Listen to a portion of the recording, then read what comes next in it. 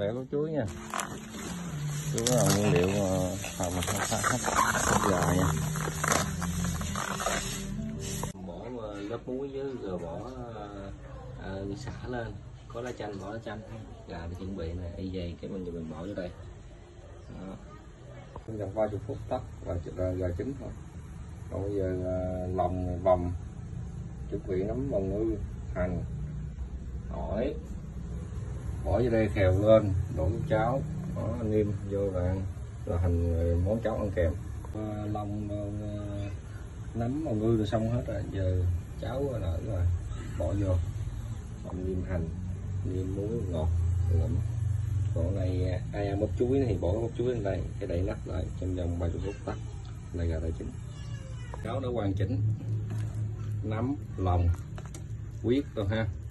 Hoàn chỉnh chấm hành thánh ờ, ớt 50 muối 50 đường, đâm lên, nặng chanh vô, quậy, nghe vừa ăn rồi còn nếu mà mặn quá thì nêm miếng muối, ngoài miếng đường thêm chấm hành thánh đã xong.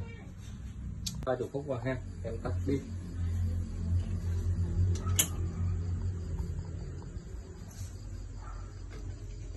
Tại cái này có cái lỗ em sợ đi hơi. Wow.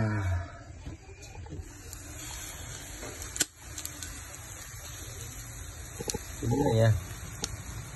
Rất ngon khói mình nục.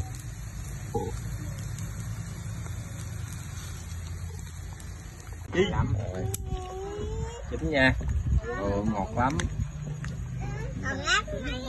Chuối đây. Đây nha. Ngủ nha